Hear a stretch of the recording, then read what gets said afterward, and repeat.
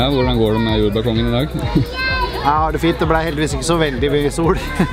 Så eh, det er bra. Og så er jo folk så glad og fornøyd, så det er veldig bra.